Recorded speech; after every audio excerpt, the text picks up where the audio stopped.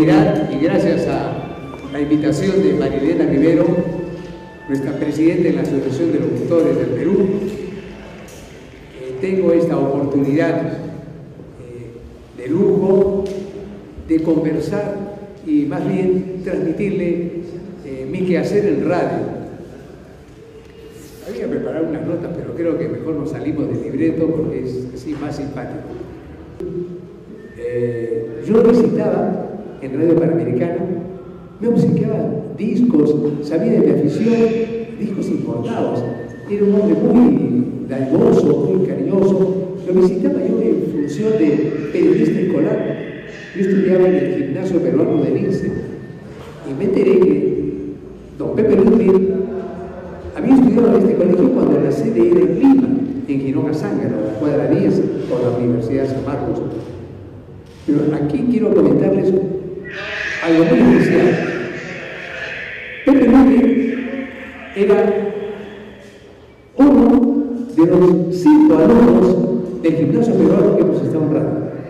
Don Roncal, Pepe Luque, Víctor Cáceres Fuentes, de Radio Expreso, en los años 60, Gustavo Galeano, que compartió conmigo en Radio Rayo, y yo me uní a ese equipo de haber hecho radio. ¿Qué les parece a ustedes? A modo de anécdota, somos cinco de un mismo colegio que tuvimos diferentes épocas, pero todos amando la radio, haciendo buena radio, como la hemos concebido y hemos practicado y ejecutado. Bueno, nos quedábamos en los inicios, yo visitaba las tiendas de discos Castellano, Agencia Fico, las tiendas de discos Mag en la cuadra 7, Discos del Mundo, del señor Richard Ayero, en la galería Voz estaba Héctor López, Disco Centro, ahí está. En Disco Centro eh, viene eh, un ángel de la guarda para mí, Pepe Carrasco, habrán conocido de este jockey cantante boliviano. Eh, parece que le cayó simpático el que la mamá, los hijos venían a comprar discos, discos de la nueva hora, instrumentales también. Entonces un buen día me invita a su programa en Radio Panamericana. A las seis de la tarde asistí, yo vivía cerca, estaba en Lince, cerca de Santa Beatriz. Asisto y con un cariño, con un cariño inmenso, Pepe Carrasco eh, nos recibe a un grupo de oyentes y me doy cuenta que cada sábado o a veces entre la semana, luego de salir del colegio, tomar el clásico noche, eh, asistía a la radio. Empezamos con la música, con la presentación del grupo de Carrasco. Un día sábado me hace una seña y me da instrucciones. Acá está el texto se aprende la nueva, lees este texto. No le digo, dice, y ahora viene otros shows con discoteca contemporánea. Yo le doy una señal por la ventana, por el vidrio de la cabina. Sigue adelante. Al día siguiente vuelve a repetirse. Un poco que se va familiarizando conmigo el apelativo. Los oyentes ya dicen, suena más artístico, comercial. Y así fue que, gracias a Rory Cadillo, un hombre de ideas, de, mucha elegancia para a veces bromear a, los colegas, pero como les repito, en la gloria de Dios esté, ustedes tienen que haberlo conocido, un muchacho que vino de Cañete con muchos sueños y los realizó. Y tiene todo el afecto y recordatorio permanente de nosotros. Eh,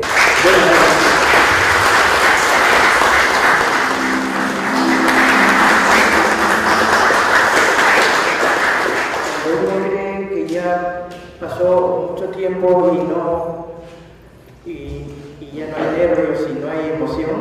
no es verdad. Eh, estoy emocionada porque este tema musical ya es anecdótico todo desde que empiezo. Eh, se llama María Elena y por eso lo pongo. Primero, que soy tocaya de la presidenta. Y no solo tocayas María Elena, sino tenemos las mismas iniciales, MR. Y mi madre me puso el nombre María Elena por este tema que cantaba Nat King Cole. Pero lo cantaba en castellano. Y en castellano es tuyo en mi corazón, no sol de mi querer pero en inglés es María Elena, you are the answer to a prayer. María Elena, tú eres la respuesta a una oración. Es más linda en inglés que en castellano, la verdad. Y anecdótico es todo, pues cuando me dice María Elena para, para venir a hacer esta charla con ustedes, eh, me pongo a pensar, a ver, desde dónde se inicia y qué piensa. y lo que pasa es que todo lo mío en el mundo de las comunicaciones es casi anecdótico. Como, como la mayoría de los autores en el Perú, todos somos autodidactas. Por eso nos interesa tanto la profesionalización. Porque por casualidad o porque algo pasó, pero ahí estuvimos en el mundo. Mi padre era muy aficionado a las grabaciones. Mi papá era el que era, grababa todo. Este, vivíamos en, en una calle en, San Isidro que se llama Pasaje Aromito y mi papá tenía su radio personal en la casa que se llamaba Radio Aromito, de Aromito 145 San Isidro, Lima. Y después nos mudamos al 157 y así hacía. Y grababa a mis hermanos, contando cuentos, y yo paradita ahí al lado con mi acordeón, y nunca me pedían que tocara el acordeón. Y, llamaron a mi papá por teléfono un día, Merian Sarmiento, eh, que fue mi Perú, una linda era amiga de mis padres, y le dijo a mi papá que estaban buscando una persona que eh, coanimara, dijeron anfitriona de un programa que, era, que fue político. Yo tenía 19 años. Y lo único que pensaba yo era en el deporte. Así, ah, soy campeona nacional de acrobacia en tabla hawaiana. Este, jugaba voleibol mi, pasión. Y hacía todos los deportes, sabía por haber nadado.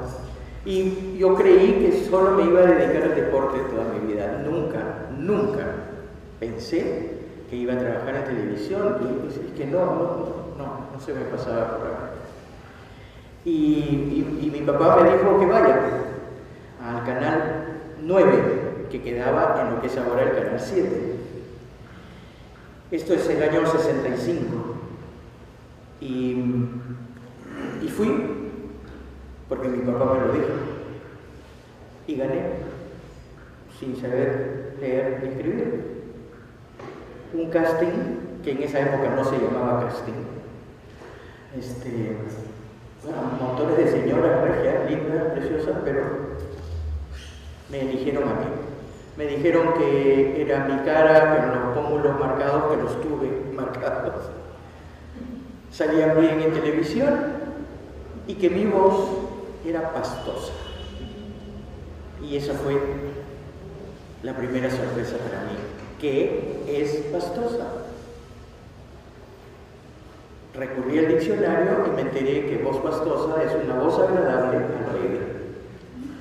Pero esta voz es de familia.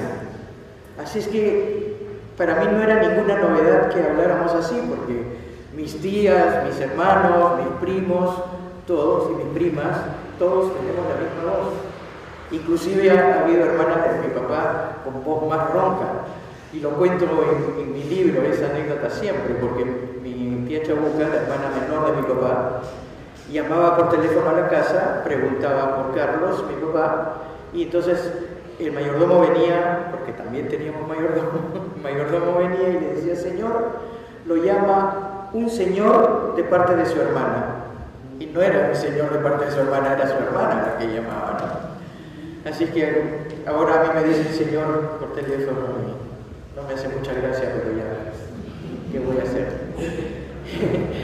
Al principio la verdad es que no me gustaba Dios, y la fui acomodando y educando hasta que me gustó.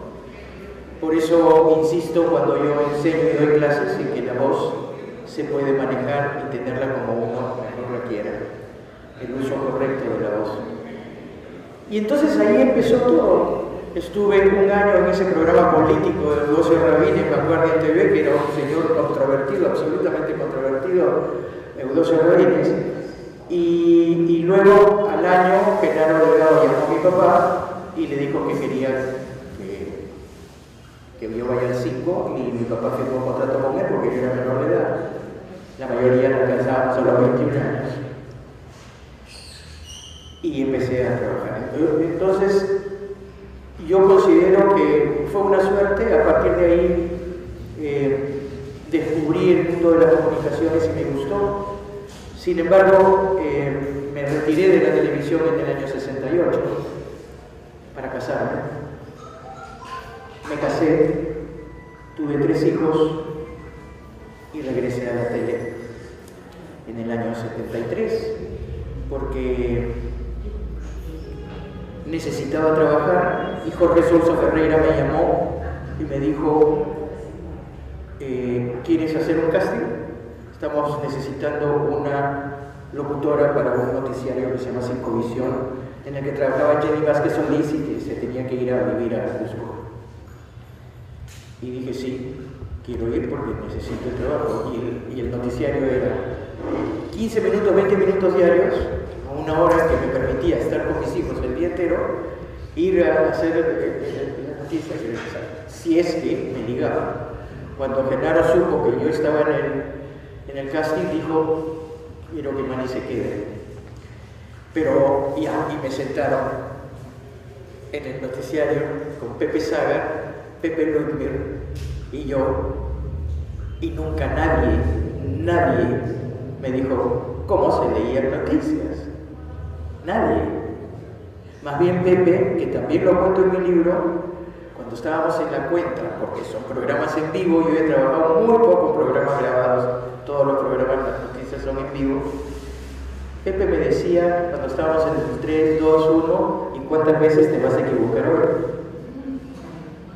Y yo salía con mis ojos llenos de lágrimas a leer. En una de las fotos que estoy ahí con Pepe, y con esto estoy con una carita así de susto porque eso es lo que me acababa de decir seguro. Y así empecé. Y al mes, por poco tiempo, pasamos a inaugurar 24 horas, que ya fue un gran noticiario, ¿no? el espectáculo de la noticia, así se llamaba. Y que pronosticaron que no iba a durar nada porque había demasiadas estrellas en el programa. Sin embargo, fue sensacional. Y ahí tengo otra anécdota que también cuento en mi libro porque llama la atención ahora la forma en que hablan los jóvenes, ¿no? Y, yo recuerdo que en, el, en 24 horas todos podíamos intervenir en las entrevistas, los que conducían y los que narraban las noticias, pero ese día a mí, ah no, no, estaba conduciendo, estaba narrando, y, y vienen a ser entrevistadas la selección de bowling la, la gran selección de vóley con Irma Cordero, con todas, y, yo le digo en un momento a Irma, Irma, yo te admiro porque yo hacía las veces de Irma cuando yo jugaba vóley, era levantador, armador en el equipo por el tamaño que yo tenía, que no se usaba antebrazo, además era todo jugado con con dedos. Y le digo, yo te admiro porque eres una trome. Bueno, eso significó que me enviaron un memo random diciéndome que la próxima vez que yo utilizara en televisión una palabra inadecuada, me suspenderían tres días sin goce de haber, porque había dicho troque. Así que se imaginarán lo que significa para mí escuchar ahora lo que se escucha. No hay nada que hacer, pero así pasaba, ¿no? Y otra anécdota en 24 horas que recuerdo con mucho cariño fue que cuando, lo que no recuerdo, por favor ayúdame con esto, es qué año fue, cuando Walter Lavalleja va a ser entrevistado a 24 horas porque iban a inaugurar el Estadio de Alianza. ¿En qué año fue eso? ¿Te acuerdas? 74, 75, ¿no? Por ahí. Y entonces lo entrevistan a Walter Lavalleja, sí, que qué bueno, que el Estadio de Alianza, no sé qué. Ahí sí estaba conduciendo yo ese día, 24 horas. Termina la entrevista, le agradezco al señor Lavalleja, lo felicito y le deseo toda la suerte del mundo, pero le digo, pero el mejor equipo del Perú es el Sporting Cristal. Por primera vez públicamente decía yo que era hincha del Cristal. Al día siguiente, en 24 horas, aparecí como una orquídea, como un diploma y un chop de cerveza de cristal tallado que me envió la señora Esther y Josué Grande, y que fue para mí, ya, y empecé a ir al club y, y, a los partidos, y lo increíble es que después mi hija mayor ha sido la primera jefa de prensa mujer que tuvo el Sporting Cristal, y es hincha de cristal también, mi hija. Y son las cosas que pasan en la vida, pues agradables que uno siempre recuerda. Y luego, las anécdotas que yo puedo recordar, porque son graciosas, toda la gente cree que yo soy muy seria y que me peleo todo el tiempo. Salvador, acá cree que me peleo todo el tiempo y no me peleo. Simplemente digo lo que pienso directa y claramente. Pero soy perra, siempre lo he sido. Y, y, y, y hablo siempre en doble sentido. Y recuerdo varias anécdotas por ejemplo, estando trabajando en Canal 7 en el noticiario con Antonio Bosa, Antonio pobrecito saludó el noticiero y salió un gallo, esas cosas que nos pasan, buenas noches, y me entró ataque de risa. Y llorábamos los dos y teníamos que dar las noticias y, era, era, era terrible, ¿no? Porque cuando uno sabe que no debe reír, es peor, por eso que se llama tentarse, ¿no? Porque uno se tienta. Y Raúl no me deja mentir cuando yo le tenía que dar pase a Raúl para que hable de los deportes. Yo no le decía Raúl Maravilla, yo le decía Raúl Y siempre me ha llamado la atención por las cosas que hacía. Y de esas risas nos ha pasado el Canal 4 también con Guido Lombardi, que estaba contando un chiste cuando teníamos que salir al aire y él, que es un cínico, salió muy serio, y Ernesto García Calderón, hijo, Ernestito, y yo ahí, con ataque de risa, y no podíamos parar. Y Guido lo hizo de lo más bien, pero cuando nos tocaba leer a nosotros, él se tiraba al piso a reírse así a propósito para fastidiarnos. Y a Ernesto, pobre, le toca leer una noticia sobre los niños de Biafra. Y no pudo terminar de leerla el ataque de risa que me dio hablando de los niños de Biafra.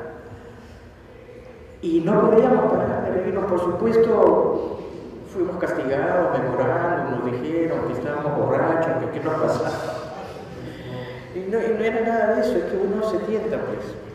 Dos días después o tres días después de eso, yo le, yo le cedía mi asiento a Alberto Bencolea, que venía a hablar de deportes, Alberto.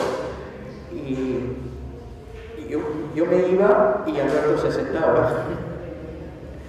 Y viene Alberto, se sienta y la silla se va para abajo. Y Alberto se queda colgado así de la mesa con sus brazos así. Y todo, todo su espacio lo hizo colgado así. Increíble. Y yo al, al, frente, muriéndome de la risa, pobre y él, aguantando aguantándose así, y justo había editado para el final de su espacio un video con caídas de, en esquí, en tabla, en todo, caídas, caídas, caídas. Y, termina diciendo, hoy es el día de las caídas famosas, porque nadie se había dado cuenta, pobre, pero nosotros con ataque de risa. Y mataperradas que hemos hecho en Buenos Días, Perú, para el Día de los Inocentes, el 28 de diciembre, nos pusimos de acuerdo Roberto Martínez, Coco Bereván y yo en hacer una broma por el Día de los Inocentes. Y entonces empezamos a hacer. Hola, Díaz Perú, Díaz Coco. Y Coco. Hola, ¿qué tal? Roberto. Y Roberto también hacía lo mismo. Empezamos a ver la desesperación de los técnicos corriendo por todo el set, buscando el defecto de los micrófonos. Y el hombrecito en, la cabina destapó toda la consola, todos los cables afuera, también significó castigo, lo suspendieron. Y así han pasado muchas cosas que uno recuerda y que hace que que esta profesión se recuerde con tanto cariño y, y estoy de acuerdo con Renato cuando dice uno nunca cuelga el micrófono. Porque es raro, ¿no? La gente dice, oye Mari, tú eras locutora, ¿no? No, yo soy locutora. Ah, pero no estás en ninguna radio. No, pero grabo otras cosas. Y y uno nunca deja de ser locutor. ¿no? Mientras la voz no envejezca, seguiremos hablando en el micrófono. Y estoy tratando de recordar más de eso que me moría de vergüenza. Yo no podía decir, ven, pruébame. Yo, yo no puedo, sí, que sí, que sí.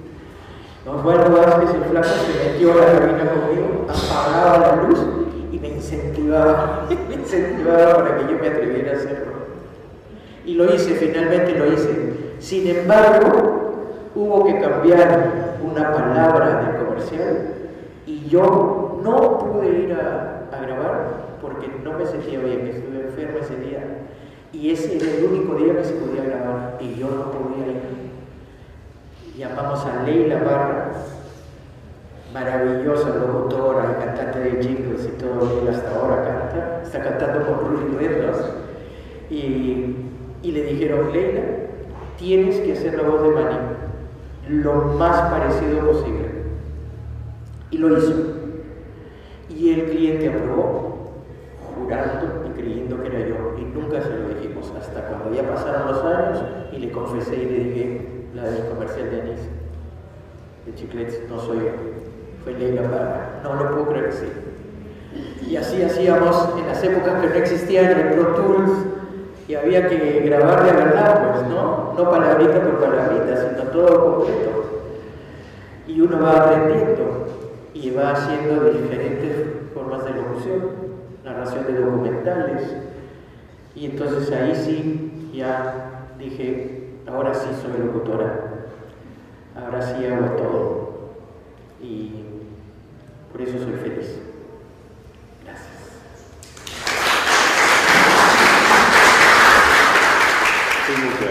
la invitación de María Elena a esta reunión que yo la considero una reunión de familia porque trata de todos aquellos que practicamos este oficio hecho profesión y que esto es un bichito que tenemos todos aquellos que nos, iniciamos en la locución, lo tenemos inoculado en las venas. Y si vamos a contar anécdotas, yo estoy aquí como un sultán, un sultán que tenía sus siete mujeres, él decía, sé lo que tengo que hacer, pero no sé por dónde empezar.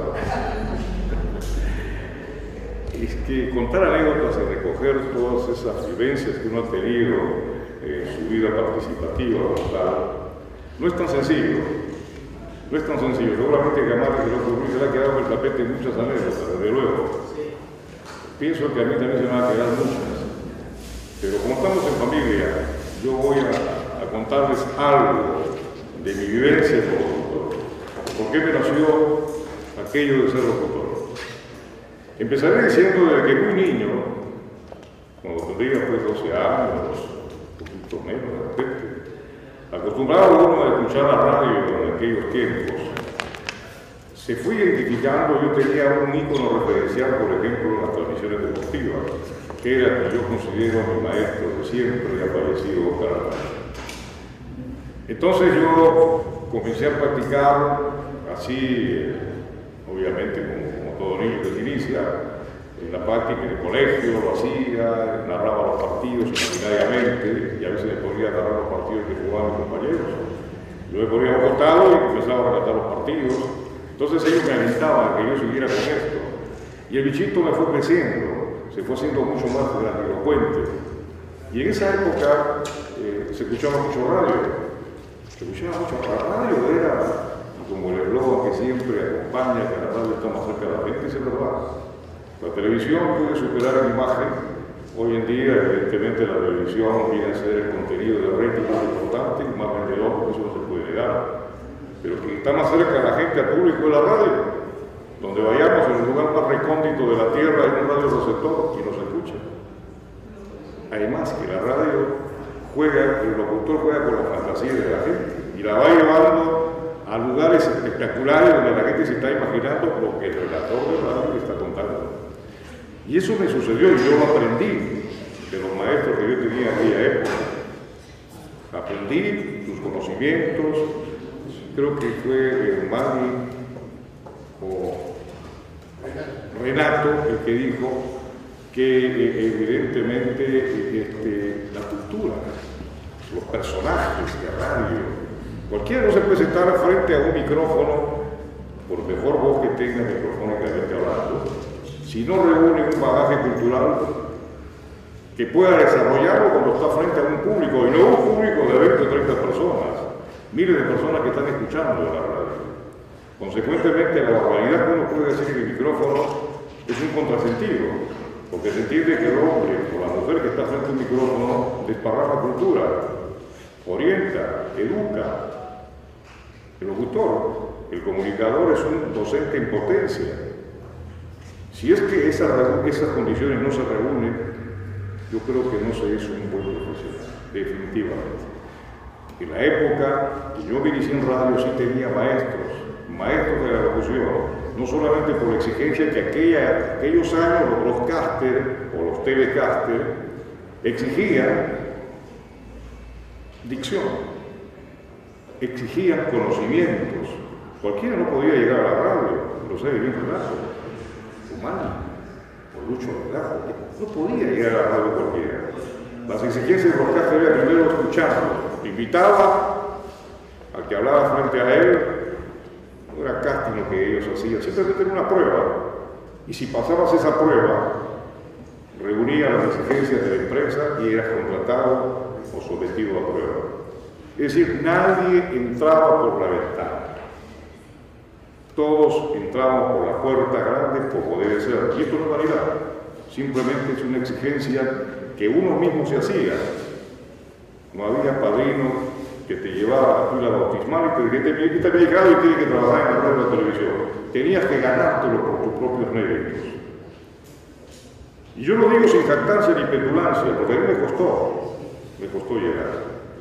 Ya les digo, en mis inicios, primero, que comencé a hacer lo que me gustaba la locución. Yo en los, eh, en los intermedios, en los recreos del colegio, porque antes estudiaba tarde y mañana, de tal manera que yo tenía dos recreos al día. Yo mismo elaboraba mi guion, mi libreto, y ¿qué hacía? Con el permiso del director del colegio, en los intermedios, me daba la oportunidad de locutar. Entonces, como yo recogía eh, las, anécdotas de los amigos míos que todos los días había algo que decir, yo les ponía apodos y decía una serie de cosas que se reían ellos en el intermedio, yo mismo lo libretaba, lo libreteaba y lo guionaba. Entonces, eso me fue dando a mí mayor conocimiento de lo que a mí me gustaba, que era la locución. Además, tenía la, aceptación de los profesores porque las clases de lectura, por ejemplo, en primaria, este, el profesor siempre me llamaba a mí para que leyera los libros de lectura de aquella época. Decía, tú tienes buen timbre de voz, así que tú sabes y leerlo. Y a mí me gustaba, me gustaba y aprendí a leer. Y me sirvió de mucho, evidentemente. Me sirvió de mucho. Esas lecturas en el colegio me sirvieron de mucho cuando ya yo comencé a trabajar profesionalmente. Ahora, esos fueron mis inicios en el colegio, me gustaba la locución, me gustaba, por ejemplo, me gustaba cantar. porque siempre se dice que está asociado, está asociado. Si un locutor tiene buena con la voz, puede cantar, asocia las dos cosas y las cosas le van resultando. Yo tuve oportunidad porque cuando estaba por culminar la secundaria, el profesor de música que yo tenía, Romualdo González, eh, tenía una orquesta muy conocida barrios altos, que era la Orquesta González, entonces me puso a cantar un día ahí en el colegio, que hacíamos como sonadas ahí con los muchachos y todo ello. me dijo, oye, tú cantas bien, ¿quieres cantar con mi orquesta? Yo dije, encantado. Entonces comencé a cantar, por supuesto, anteriormente con orquesta porque me gustaba, y asistía a muchos chivos. Chivos le llaman a las fiestas, ¿no? A cualquier fiesta. Entonces, algo de eso también fue parte y lo que me ayudó a mí posteriormente cuando ya iba a asumir la responsabilidad de coger un micrófono y estar encandilado en una radio emisora. Y la primera persona que a mí me dio la oportunidad de llegar a la radio fue un primo mío lejano, pero que lo quise mucho, Tocho Valenzuela, que fue presidente de la, fue secretario decano del Colegio de Periodistas de, Lima. Él tenía un espacio en Radio Expreso, de acuerdo a aquellos años, estoy hablando de los 68. Y un día le digo, primo, este, quiero, mira, me gusta la locución, tú tenés un espacio, ¿me puedes dar una oportunidad? Y él no me en ningún momento, me dijo, encantado que la voy a dar, primo, ven mañana, mañana anda a la radio, búscame la mañana, a las 7 de la mañana que me puse el noticiero. Y yo me aventuré y fui. Y comencé a trabajar, a leer las noticias, le gustó a él como leía, y estuve ahí un, tiempo. Me escuchó otro amigo, radio amigo de él, me llevó a Radio Progreso, que en esa época funcionaba en la Avenida Marina, en la Escuela 30. Entonces llegué a la radio y ahí me dieron más cobertura porque no solamente hacía el noticiero en la mañana, sino que también hacía programas musicales, hacía el, trabajo del DJ, que me gustó bastante porque preparaba la música de ese momento, y entonces hacía las dos cosas, y el gerente de la emisora era el doctor Miguel Carbone, que fue médico universitario de deportes. Entonces, yo comencé a trabajar ahí, me asignó un sueldo que ya era el primer sueldo que yo ganaba como productor, y posteriormente en el camino me dijo, este, mire, estoy grabando un plantel deportivo. Y a mí me gustaba, lógicamente, el deporte. Yo quería ser narrador, pero lo tenía escondido, no me atrevía. Entonces me dijo, quiero que usted participe, puede hacerlo, encantado, doctor, le dije. Y entonces comencé a trabajar ahí, pero como locutor comercial.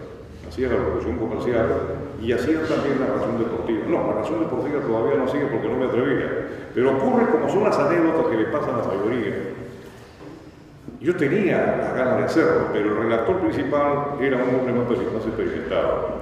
Entonces yo tenía ahí, tenía que respetar, yo hacía la locución comercial y hacíamos, me acuerdo, un partido de básquetbol en el Club Regata Clima, que era un, campeonato de veteranos de máster, jugaban hombres como Amalfi Fusioni, eh, Guillermo Tororía, y toda esa gente de aquella época, un campeonato de máster.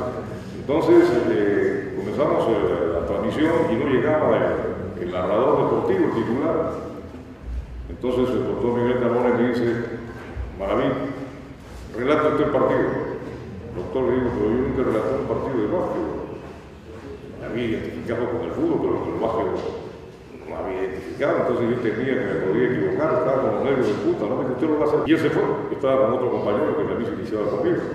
Entonces me dijo, usted relata y Víctor comenta o, Víctor hace la locución comercial. Yo ya vengo. Y él se fue. Entonces empieza el partido y yo me lancé a relatar. Comencé a relatar, obviamente que era un, le daba el, tinte más, adecuado al fútbol, ¿no? Por, la, manera como se relata un partido de fútbol, pero era básquetbol. Lógicamente que sabía la de básquetbol, porque en el colegio también he jugado básquetbol, entonces más o menos por ahí iba la cosa. Termina el partido, yo estaba que transpiraba, estaba mojadito, no sabía cómo había salido, dijo, ahora viene el doctor, me va a decir, pues, y despedida seguramente. Cuando llega él y nos felicita dice, muy bien muchachos, así que maravilla, usted era usted ese relator. Lucho Lazo, ahora que me acuerdo, él era el relator principal, no había llegado nunca, parece que se enfermó, algo le pasó muy bien. Y a partir de esos momentos entonces empieza mi carrera ya como, como relator deportivo. Y el doctor Miguel Carbone me lleva Canal 7, en esa época él tenía un programa eh, en las noches, un programa deportivo, entonces me llevan, me invita primero y después me dice, este, usted me va a acompañar en los comentarios, en los relatos, porque Canal 7 tiene proyectado hacer, proyectado hacer una serie de transmisiones. Y vamos a empezar con una transmisión de béisbol. Y esto me pasó esta anécdota muy simpática. Estaba con mi compañero Pepe Queropana, estábamos en Stuttgart, Alemania. Entonces, uno lo que generalmente busca en el intento también de, bueno, no ser muy gastón, pues tratar de gastar lo menos posible en los alojamientos. Eso nos pasa a todos. Claro, que teníamos los viáticos para poder contratar ir a un hotel eh, más costoso que nos iba a dejar también sin plata, eventos internacionales, la hotelería sube sus costos. Entonces nosotros buscamos más o menos un hotel que se acomode a nuestra economía. Y para ello había un hotel que nos recomendaba. Y era que estaba en el subterráneo. En, una, en la época de la Segunda Guerra Mundial, ese hotel era un refugio de guerra, donde pues la gente se, se, protegía de las bombas y todo ello. Pero obviamente habían pasado tantos años, entonces se hizo un hotel. Y nosotros nos alojamos ahí. Era como una caja de resonancia ese hotel. porque era pues cerrado, como un túnel. Entonces este, yo recuerdo que para remate eh, habíamos tomado unos vinos invitados por los organizadores ahí del evento que nos invitaban una y otra cosa. Y llegamos, nos acostamos, ya era como las 2 de la mañana, quizá un poquito menos. Y de repente a, la hora de nos acostamos, yo, yo me había quedado dormido, obviamente, no sabía si estaba tocando fuerte o no. Suena la puerta con un ruido pues infernal, toca la puerta, golpeándola fuerte, entonces sale mi compañero y pregunta qué pasa, y era la administradora del hotel, y en alemán y inglés mezclado con todo decía, let's go, se van, dice, ¿quién es su amigo que está rogando que se vaya? Y estaba botando el hotel porque decía que yo no, podía ser, estaba despertando a toda la gente, porque ese hotel era una, caja de resonancia. Entonces, qué vergüenza para, para nosotros. Entonces Pepe me dice, oye compadre, no duermas, pues como no dormió esa malo, pues dije todo conmigo, estaba medio marejo todavía. Y me dice, me va a botar del hotel, me dice que está roncando mucho, ¿qué hago? Pues, ¿Qué hago? Entonces, la verdad es que no sé cómo pude conciliar el sueño. dije, ponme pues una almohada ahí encima, algo, digo, bueno, porque yo no sé. Finalmente pasamos esa etapa. Yo la verdad que tenía un miedo. Estuvimos ahí como tres días nada más alojados porque teníamos que viajar a otro lugar. Pero eso fue una anécdota que, me hizo pensar a mí que voy a tener problemas, voy a tener problemas siempre. Mi compañero me aguantaba, y él me aguantaba ¿por qué? Porque, porque también, porque si él se iba solo, que se un micrófono o se ubica frente a una pantalla de televisión.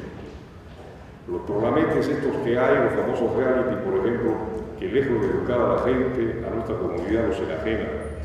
¿Por qué? Porque se está alimentando simplemente el morbo, que todos tenemos desde luego, no podemos aceptar, tenemos, porque somos seres humanos, pero no llegamos a la exageración ni al exacerbo de lo malo. Respetamos el espacio de cada uno, pero no nos puede vender eso. Sobre todo, a nosotros los viejos no nos van a vender, pero sí a los niños, a los jóvenes que están viendo el programa de televisión. Entonces estamos formando una cultura un poco robótica, que seguimos con corderitos lo que vende la televisión, más que toda la televisión antes que las radioemisoras. Entonces, eso es peligroso en estos momentos en el país.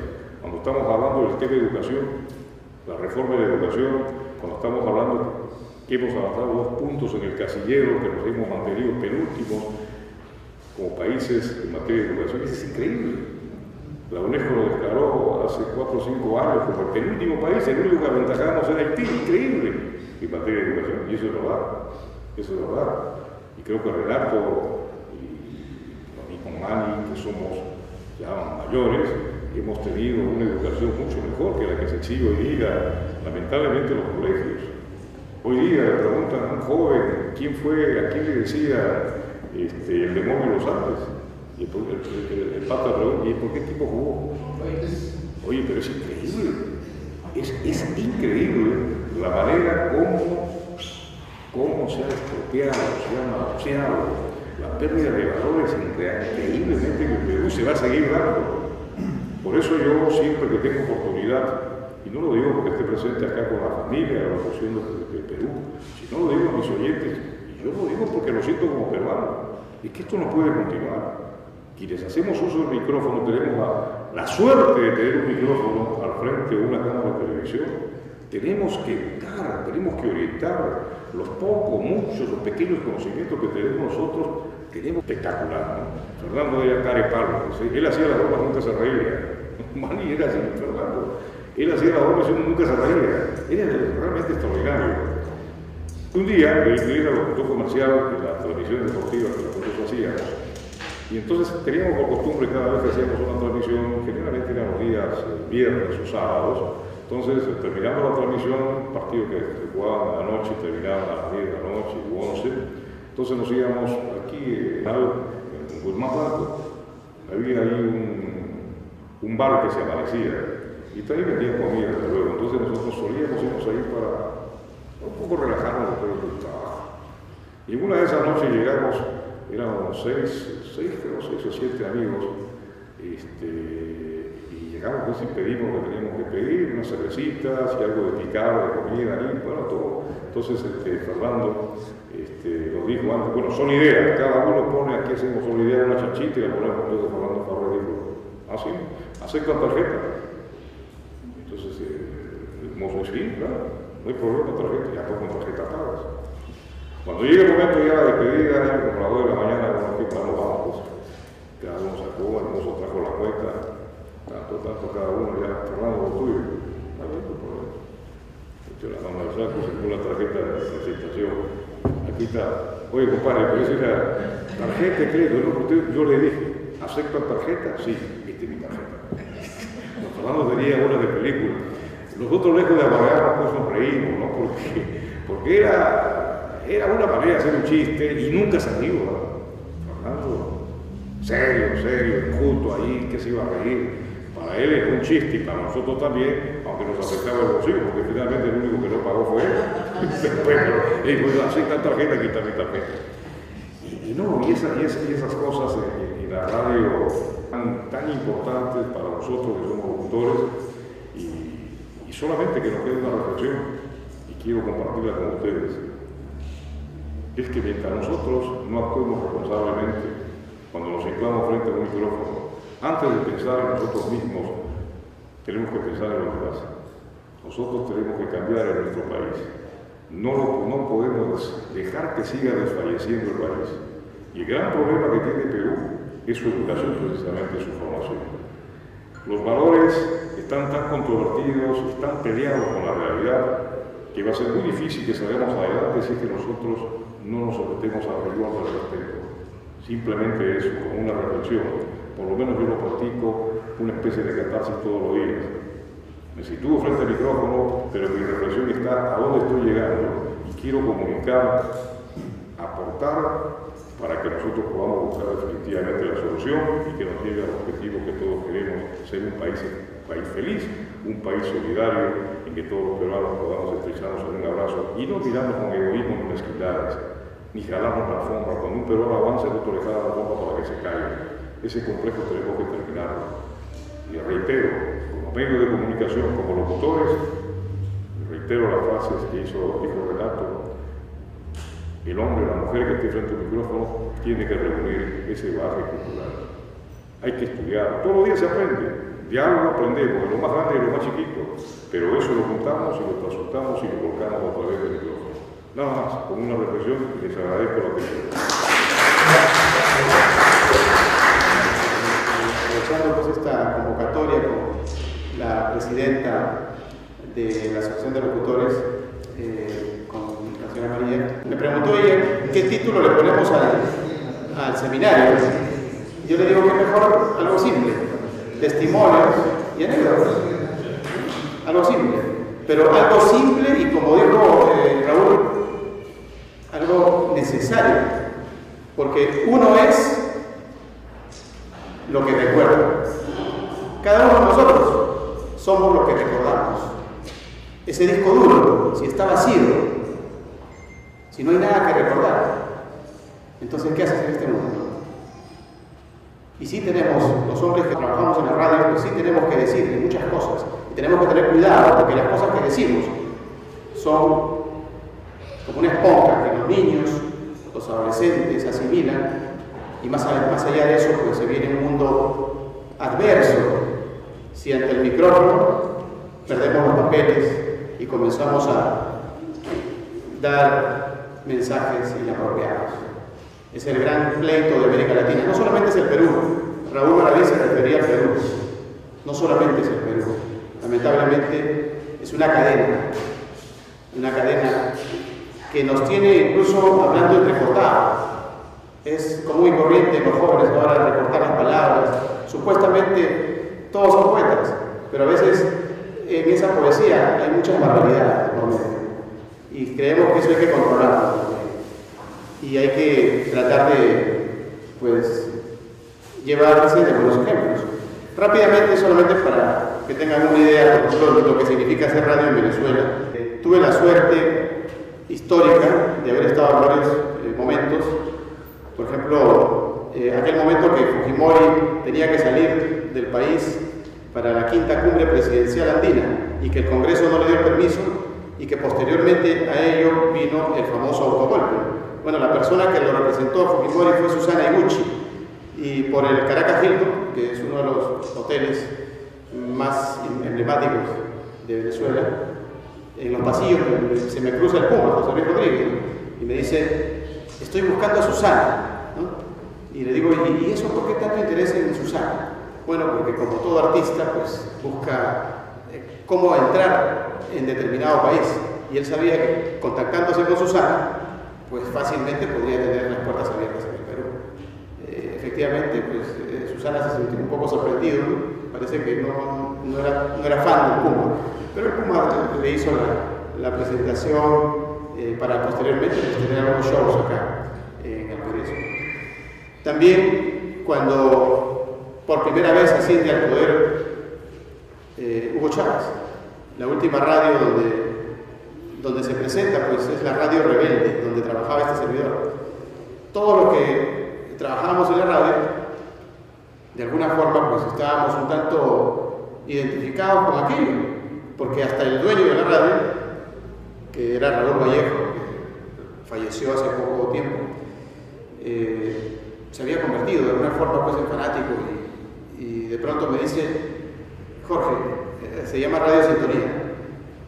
Por favor, en la parte, no solamente hacía radio, también le hacía la parte eh, de diseño gráfico de la, membresía de la radio.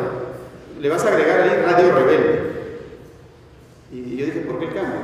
Bueno, por una identificación con una otra radio rebelde que, que hubo en La Habana, Y bueno, la identificación era evidente el apoyo era total hacia el tiraje, hacia Hugo Chávez Frías. Y efectivamente, Hugo Chávez, la última noche, previa a su asunción, a su llegada al poder, estuvo en los micrófonos de Radio Sintonía. Fue el último programa, el último momento. Y la última pregunta que le hicimos a Hugo Chávez fue si el día de mañana usted va a volver a este medio que tanto lo apoyó, que hasta le puso Radio Rebelde. Eh, posteriormente, pues Raúl Vallejo estuvo un poco contrariado porque pasaron los días y Hugo Chávez no sabíamos de él. Ya de pronto creo que había viajado para, Estados Unidos, lo llevado para allá, había viajado a, varios sitios, pero eh, nunca llegó, nunca volvió a, la radio Más adelante pasa, pasa el tiempo y Raúl Vallejo pues hace de que vuelva todo a su, a su normalidad y se convierte en opositor incluso al régimen de Hugo Chávez no sé si llevado por esta situación eh, comprometedora, ¿no? a veces los ofrecimientos políticos tienen mucho poder. Bueno, hacer radio en Venezuela. ¿Cómo decir al mediodía, por ejemplo, buen provecho? Aquí eh, en el Perú, pues, eh, el locutor se luce, ¿no? se luce mencionando el bitú de la comida peruana, que por cierto es una de las mejores del mundo. Pero ¿cómo decir eso al mediodía en Venezuela? Donde actualmente tenemos una gran cantidad de gente que no solamente, de pronto una, persona me preguntaba, oye, ¿eso solamente acontece en Caracas? No, Caracas es la capital. El desabastecimiento es total. Efectivamente, esas colas son patéticas y son el común denominador de los últimos tiempos. Lamentablemente, pues se hace difícil transmitir noticias positivas, ¿no? en medio de un panorama que a la vuelta de la esquina pues encuentras incluso gente eh, revisando la basura. Aquí nos quejamos de que hay problemas. Efectivamente, en América Latina, en el propio Estados Unidos, hay también mendigos buscando comida. En París, gente durmiendo ahí, muy cerca de la Embajada de Perú, por cierto, una de las principales zonas parisinas de las más adineradas, indigentes. Hay pobreza en todo el mundo, pero hay algunas que ya son un tanto demasiado, eh, tal vez, este, incomprensibles. Un país tan rico como Venezuela, teniendo petróleo, teniendo eh, tantas riquezas naturales, aluminio, haya llegado al extremo en el que se encuentra. Creemos que eso es lo que nos da más dolor y hacer este tipo de mensajes través del micrófono, pues cuesta. Y cuesta, por ejemplo, cuando te comprometes, a propósito de deporte, mencionaba Raúl Maraví que le costó transmitir béisbol. Bueno, a veces pasan cosas también difíciles, por ejemplo, a la hora de, de trabajar con los colegas, le dices, a ver, el tiempo de juego, dame la hora.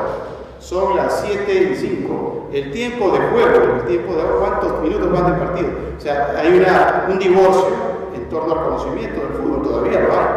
A pesar de que Venezuela ha crecido, actualmente la Vinotinto también es pasión.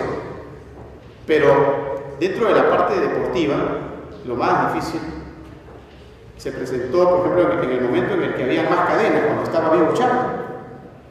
Los clientes te pagan adelantado, te dicen, bueno, ok, transmíteme el partido, acá tienes todo listo. ¿Qué hace uno como productor? Pues simplemente comienzas a disponer de ese dinero para la transmisión.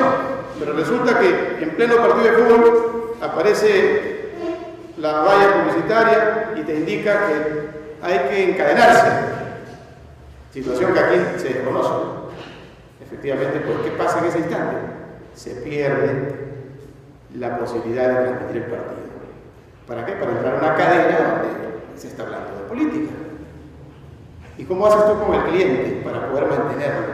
¿Cómo haces para seguir hablando de, fútbol, por ejemplo, transmitiendo fútbol, si de por medio te viene una situación que nadie te la paga, que nadie te devuelve ese dinero, esa prestación de servicios. O sea, cosas un tanto incomprensibles que pertenecen a otro cuadro, ustedes lo reconocen seguramente, pero que simplemente se los quería decir para que lo tomen en cuenta desde el punto de vista de aculturarse.